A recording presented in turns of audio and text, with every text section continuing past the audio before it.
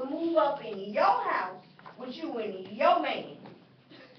You worse than Miss Phoebe on the color purple.